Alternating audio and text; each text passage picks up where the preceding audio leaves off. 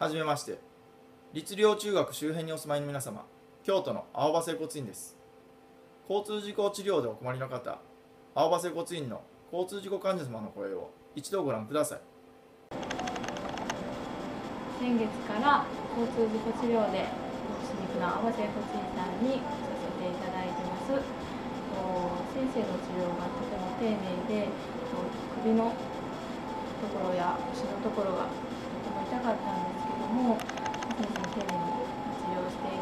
だいぶあの軽くなってきました女性のスタッフの方もいらっしゃいますのでとても安心して女性の方でもすごく安心いただけるなと思います皆さんももしそう事故おられた方がいらっしゃいましたら合わせついに